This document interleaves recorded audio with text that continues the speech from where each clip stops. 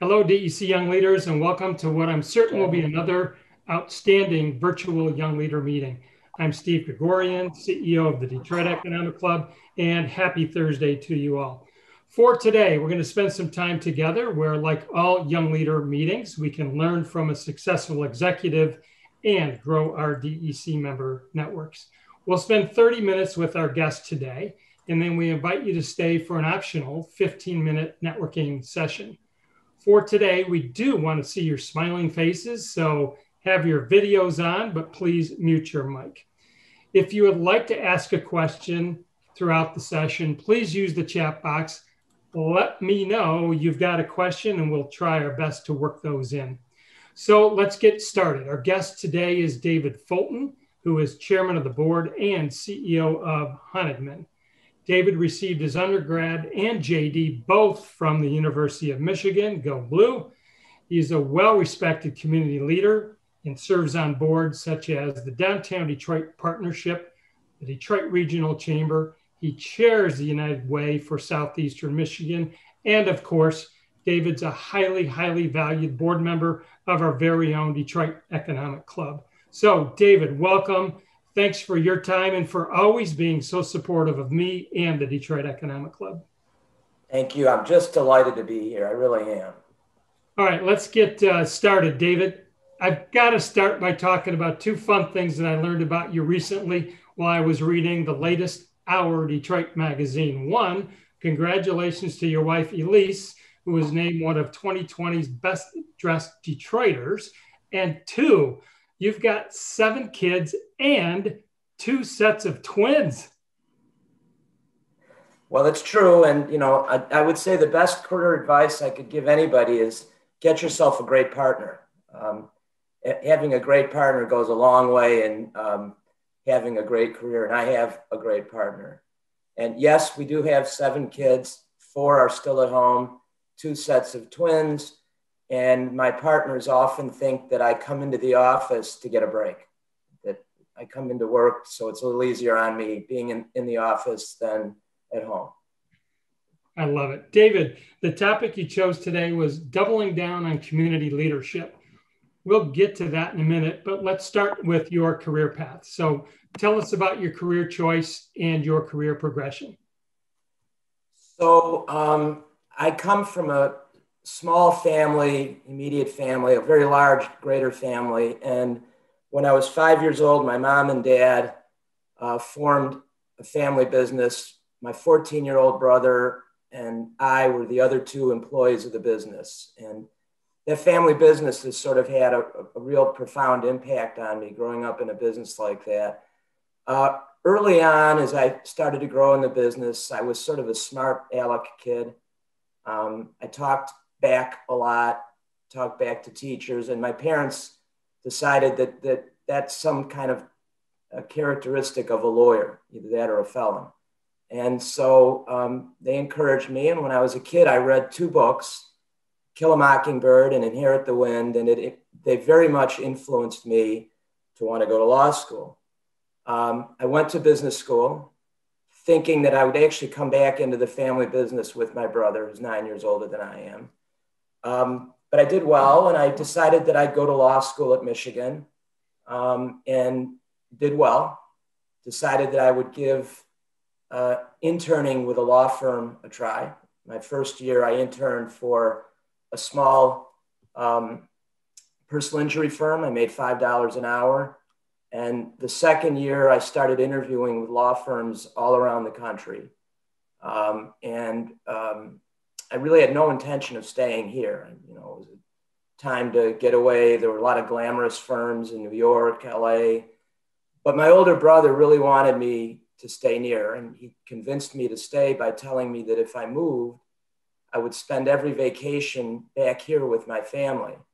Whereas if I stayed here, I could spend every vacation in somewhere really, really nice and enjoy myself. So I stayed, I, I joined Honigman for the summer. I loved it.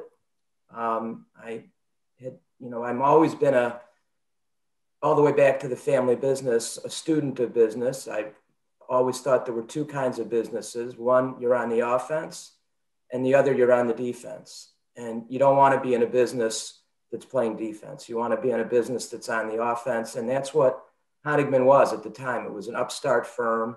Uh, it was not a silk stocking firm. It appealed to me. And I had a great year. I had a great, a great summer. In terms of progression, I wanted to be a trial lawyer. Um, I got to Honigman and they told me that I didn't want to be a trial lawyer, uh, that I wanted to be a business lawyer. I spent a year doing both. They were right. I made the decision to be a, a business lawyer, and I have not regretted it once. So you're this young lawyer at Honigman. Did you have a goal of leading the firm at a later point in your? No, career? you know, at the time, most of us had no intention of leaving. We had a pretty high turnover rate. I mean, if, you know, I didn't want to leave, and most of the time when Honigman was around, you lived in fear of leaving. He was a brutally honest, brilliant guy. And, um, you know, he would tell you what he thought. And then Miller would come back by with Honigman. Miller was sort of the heart and soul. And he'd say, and Jason was a little guy. I mean, he was a, looked like Mr. Magoo, but he was fierce. And Miller would say, you didn't really mean to tell that to David, did you? And you know, Honigman would go, mm, probably not. And so, but I did, I really wanted to stay. It was my goal to, to make a career of it. Um, so you mentioned a couple of guys. Who's had the largest impact on your career, and what did you learn from him or her? So the largest impact on my career really was my dad. Um, my dad was the best business person, intuitive business person that I'd ever met. He was smart. He was witty. My colleagues who are here and Fritz too, my partners are sick of me talking about my dad's isms because my father had an ism for everything. And we, we run a lot of what we do in the firm is stuff that my dad had told me. I mean, little things like he would say, So you want to motivate people? And I say, I really do want to motivate people. And they'd say, Then go out and hire motivated people. And so we, we live by a lot of those. So I'd say my dad, within the firm, I think that the two people who had the most impact, both were active with the Economic Club. Alan E. Schwartz, who was one of the three founders. We had a very, very close relationship. Um, he was a client.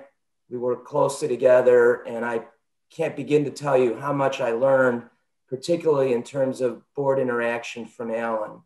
And the other was the late David Page, who was a, a remarkable lawyer, and even more importantly, uh, remarkable in the community involvement. He was really one of the two or three people who launched the Riverfront Conservancy. And when you go up and down the river, that's David Page and a couple of others. And there's even a little garden there that's named after David. So I would say, and I've had many others in the firm, but those two were really the principal um, mentors.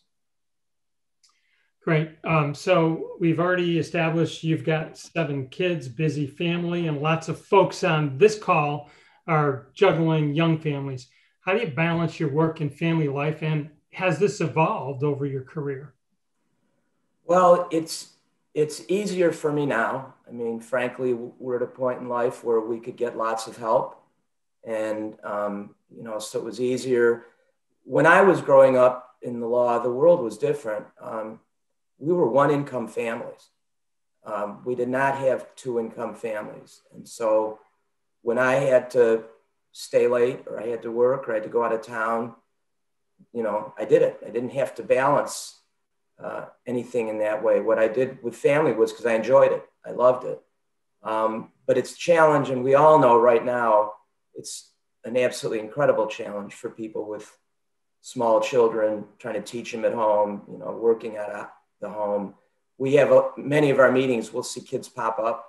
We'll see on Zoom, somebody will pop up, get in the way of the camera, and you know, we try to be lighthearted about it, but I know that for the parent, it's it's tough. We were kind of looking forward to seeing your two dogs jump in on your lap here. Not happening. The door on.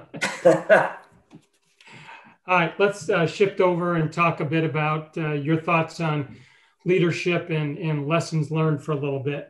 So, everyone faces roadblocks in life, certainly talk about some of your professional challenges. How did you overcome them, and what lessons can you share with young leaders on the call today? Well, you know, most of us are very impatient with our careers. And one of the things that I overcame early was this impatience. I wanted to get everything right away. I wanted to grow into this level right away. And I learned later than I wish I had that careers are really a marathon. They're, they're not a sprint. And, you know, every choice you make is a choice that keeps the most options open for you. Uh, as I said, my biggest challenge was that Honigman was a wonderful place to work and um, great lawyers, but it was a demanding, demanding place. We, we had a lot of demands placed on us. David Page could be brutal. And then at four o'clock, he'd say, Let's get dinner. I got tickets to the Pistons game. And you'd have a wonderful night. But during the days, they were very demanding. And, you know, learning how to overcome the demands and that life is a, a long marathon was a big lesson for me. Um, let's talk about leadership. Um, in your opinion, what are some of the most important attributes of a leader? So, um, interesting. I should probably for a second just say that um, leading a law firm or a service enterprise is a lot different than leading a lot of other businesses. It's not a command and control module. You, you, you don't, the CEO doesn't tell somebody, go do this or you're in trouble. You, you work, CEO of a law firm works for your partners. So I can't just go to a partner and, and say to the partner, this is what you're going to do. Um, you have to build up a consensus. You have to have the trust of people. But, but I think other than that, there are a number of things that are common, I think, for leaders. The, the first is um, integrity. You, you have to be honest. You have to be um, you know, honest with people. And that's not always easy. It's very hard to give people bad news. It's very hard to be straight with people. It's very hard to say, you're not doing a good job with this, or we need you to do something different. And um, you can't lead a business unless you're truthful with everybody about what can be done better and, what can't. Judgment is incredibly important. Um, good judgment is something that can't be taught, um, but it's, it's critically important. You need vision. You need to know where that business is going to go. You need to understand the business. You need to be able to drive change. Um, those of you who are on this call who are lawyers know I'm going to make up numbers, but they're directionally right. Lawyers are about seven standard deviations off on resilience which makes us completely resistant to change. And so you have to, to be able to drive change and to be strategic um, really is an important skill. I would say self awareness is very, very important. You really have to be self aware, you have to be thick skinned. Um, you can't let people um, upset you or distract you. If someone heard something that you didn't intend to say, they heard it and you got to deal with it. You can't get mad at them because they heard it wrong. You have to be able to listen. You really have to listen to people. I think, again, as a lawyer, what you learn is most people don't really listen. You're, you think about what you're going to say in response to the person who's talking. And you can't do that. You got to you got to listen and hear what they're saying and then pause and respond a couple other things. There, there's a level of stubbornness to being a leader. Um, if you have an idea that you want to see fly, you got to listen to people and whatnot, but you have to stay with it. You've got to be stubborn about it. Um, there's a we and an I notion to being a lawyer. The, Jim Collins is a great author, wrote a great book called Good to Great that many of us have read. And if you haven't, read it. But it's a great study of leadership. And we succeed, I failed. So if an initiative fails, I fail. But where it succeeds, we, we succeed. And then I think the last two things are, and three, you need to be consistent. People do not like inconsistency in leadership. You have to love your colleagues. You have to love the business, to love your colleagues. It has to really be personal. You have to look at it and mean it that it's a that, that, that it's a family. Um, and the last is you're the face of your business. A leader is the face of the business everywhere. So when you kidded me, Steve, that Elise was an hour magazine, okay, well, that's the face of our business. Somebody might like it, somebody might not like it.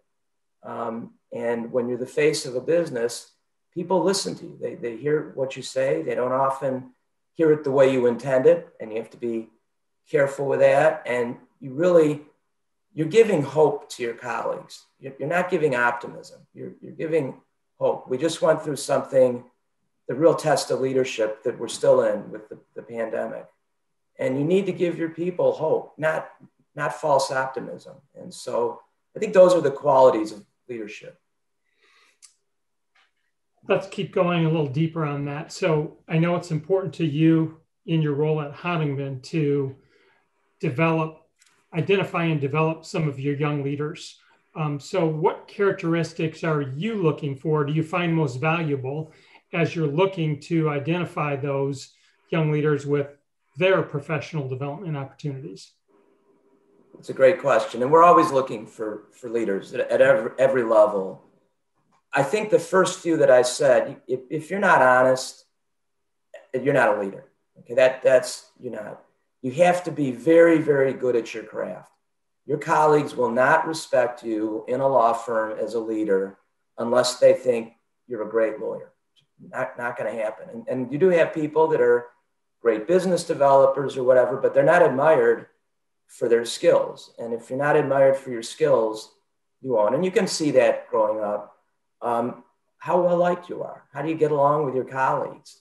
Um, you know, what do they think of you? It's a, um, uh, the, uh, the biggest mistake I think we make with emerging leaders that we've learned over the years, it's sort of the Peter principle, where you confuse someone who gets things done with someone who can lead. So we got we have people who get everything done they're supposed to get done. Fantastic skill. But then you turn them loose as a leader, and they're not a leader. They, they, they don't get other people to do what needs to be done. So we, we watch it, but the, I think at younger ages, the most critical things are good personality, uh, affection for their colleagues, integrity, and, and great skill at what they're doing. Let's talk about a little bit about your professional development. What training or activities not related to your profession have been most important to your success and why? Well, one of them is right here. I think community activity and community involvement is really, really critical um, to career growth. You, you, learn so much. I mean, you know, in the 15 minute networking you're going to have together, you learn so much from others. I can't begin to tell you, I don't leave a Detroit Economic Club board meeting without having learned two or three things. And I don't, and, and they come right back to how we run the law firm. There's always something Steve does in a meeting or uh, Jerry Anderson or in any other board, there's always something that goes on that lights off an aha moment. And, and, and this kind of activity, this is really true diversity. I mean, you get people from foundations, you get people from corporations, you get people from labor, and everybody sort of seems to leave at the door all of their issues and just focuses on one. So I, I would have to tell you maybe the most important thing outside of business that's been helpful to me is community involvement. And maybe the second would be um, clients. Uh, we have clients who've taught me a lot of positives about leadership. I have some great recollections of clients who are great leaders. I have recollection of terrible leaders. You can you can you know you can learn from the other side as well and my family i think you know coming home to my family and and and dealing with family stuff over these years also is is quite impactful and friendships your, your friendships teach you you you know you admire your friends you see how they handle situations one of the things about lawyers uh, we get to see the very best of people and the very worst of people. We, we see people when they're in their worst moments, and we can see the level of character that they deliver in a bad moment. And you learn a lot from that. You, you learn, you know, somebody has a chance to cut a corner, um, and you, you learn what it feels like to not cut the corner. Thank you, David. I want to remind people on the call that we're David's very willing to take some questions. If you've got a question, just tell me in the chat room. I've got a question and we'll work it in. So in the last 10 minutes, it looks um, like you have four chats. I don't know what that. I just see that. I see four. Oh, yeah, those were. Um, looks like Christina just uh, reminding people about some of the important points that you okay. said. Okay, good. So let's talk about community engagement. Um, why has community involvement played such an important part of your life? And what are the most important lessons you've learned from your involvement? You started to talk about that. Let's dig a little deeper. Well, it makes me happy. Um, it, it, it really gives me great pleasure. Um, you know, all of us have been, you're on this phone, we're privileged. Everybody on this phone call is privileged with something. And we've got so much, and we're blessed compared to others that it just pleases me to you know use my talent and treasure to help others and be involved with others. And it's fun. Um, i always enjoy as i said i enjoy these board meetings. I enjoy um, the, the, the civility and involvement. Our firm has a great history of community involvement. I, I can't sit here in the last 10 minutes and not um, talk about that for a bit it's in our dna i mean alan schwartz David Page were all over the community. They, they were leaders at the DEC, they were leaders at the United Way. They both preceded me as chairs there. Uh, one of our proudest moments in my 40 years with the firm is that uh, my partner, Alan S. Schwartz, who's not related to Alan E. Schwartz, and his team led the DIA through the bankruptcy, led, it, led, led them into the grand bargain. They saved the art. And that was a proud moment for us. We were probably, probably could have been engaged in that bankruptcy in any number of much more uh, lucrative aspects of the bankruptcy, but we, we stayed with a 40 year client, the DIA. And I, will never forget when the um, party, the grand reopening party took place, um, Gene Gargaro thanked the law firm. And um, so there's, there's a real DNA that we have, and those of you from the firm who are on the phone know it. We encourage leadership at, at, at early levels, and so uh, I just enjoy it. I know it's important, Hardiman. Can, can you tell us about some of the innovative programs that you've gotten your firm involved in? We have a couple that we're very proud of. Um, we, we have really an urgent diversity, inclusion, and equity initiative. And um, we've concluded a long time ago that, at least in our business, um, it doesn't start in college or law school. It's, it's too late. So we have, uh, Fritz, what do we have, 80, 90 people that participate in TutorMate, uh, where once a week we read to a third grader.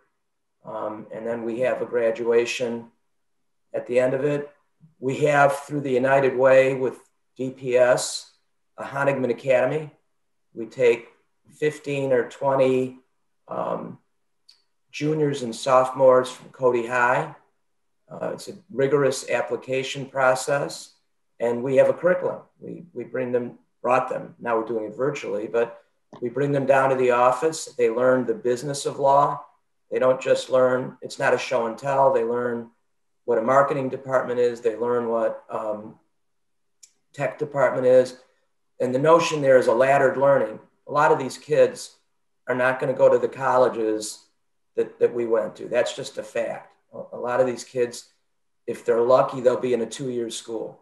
Well, if we can get them in a two year academy and understand that they can get a job in the law and get the rush of being in a law firm and understand what that is, that's a huge head start somebody like that can go to law school at night while they have a career. So we're very, very proud of the Academy. Uh, those are just two examples. We just now, there's a brand new STEM based, uh, it's been in medicine for years. It's called Thrive. We've just now are sponsoring two kids. You sponsor two 10th graders, one each. You pay for them for 10 years for intense STEM work after school during the summer uh, and you mentor them, there's almost no possibility that they'll come back to us. But the statistics of these kids in medicine getting into major schools in the research. So those are a couple of examples of what we do as an institution. Those are amazing. And, and you not only talk the talk, you walk the walk. So congratulations. Um, we've just got a few minutes left. What advice do you have for the young leaders on this call in terms of being engaged in, in their volunteerism? Well, I think one thing is don't do it for your career. If you if you do this for the career, you'll stink. You'll be terrible at it, and what'll end up happening is that you'll create negative views of yourself. You, you, if you don't do what you're supposed to do, you got to enjoy it. Find something that you enjoy and do it because you enjoy it. Uh, that's the most important thing of, of all. Um, and and it's it's fine if you don't enjoy it. I mean, don't do it. Write a check. You, you know, find some way. But if you if you enjoy it, do it. Um, be patient. Uh, one of the great things about Detroit really is it doesn't take long to become very important in an organization. I mean, you know, we have folks on the DIA, the symphony board. You know, if you're in New York, none of us is going to be on the symphony board. None of us is going to be on the economic club board. And so there's so many opportunities here to make a name for yourself and an impact at a young age. And so I would just pick what you like and have fun with it. We did get, David, a, a question in the chat room, which I think is a good one to sort of wind down. Um, you do amazing things for your firm and the community. What do you hope, David Foltyn, uh, what do you hope your legacy will be in the community? Good guy. Good guy. you're, you're, clearly there. Um, so we actually, yeah, we actually got time for. Let's end on this. You, are the leader of Honigman, a major law firm, a large nonprofit you chair, United Way for Southeast Michigan. Um, tell us about some similarity, similarities and difference in, in those roles, and how do you balance your time between all of those? It's a, it's a great question. Um, a nonprofit is very different than, than a profit, um, for profit business. First of all, you're bringing all walks of life into the room um, Democrat, Republican, you know, conservative, liberal, um, white, black. You're, you're, you're just balancing with one simple common interest, and you learn so much from that. I mean, you, you really do. Um, the balance, you got to like them both. You got to really enjoy it. You have to have a partner who wants you to be active, who wants the time. You have to have a, a patient family. But the other real, the, the and, and it's a, the person who works at a nonprofit is different than a person who works in a for-profit. They, they, they really care. They're more selfless. They, they, they're more humble. You know, it's, we at, in the for-profit world, we take credit for everything. We take credit for what we did. We take credit for what you did. In a nonprofit world, it's a much more humble world than that. Um, but I think the most important thing, it's um, it's humbling. I mean, it, it at United Way, for example, we deal with people in the most undignified circumstances, completely undignified circumstances, and we treat them like customers. Um, we treat them with the most dignity that you can. We've served 17 million meals since March. Um, you know, not the, our, our clients don't get DoorDash. Uh, we've done 17 million meals, and we've done it with just as much dignity as you get when you go to the Coney to pick something up, Fritz, or when you go to the fanciest restaurant around. And there's something really, really gratifying about being around something like that and, and being part of that.